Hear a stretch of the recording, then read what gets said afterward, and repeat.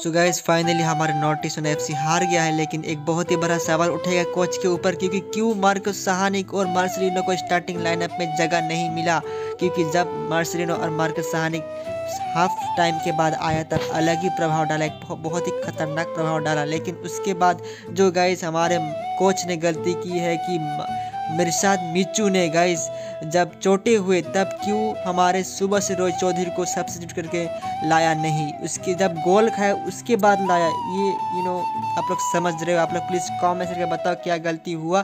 तो ख़राब लग रहा है, लेकिन यह नेक्स्ट मैच यू नो फाड़ देगा शायद। तो ऑलवेज डन में अच्छा गोल और बाय बाय गाइस और कुछ बता नहीं समझ रहे आप लोग? यार प्लीज़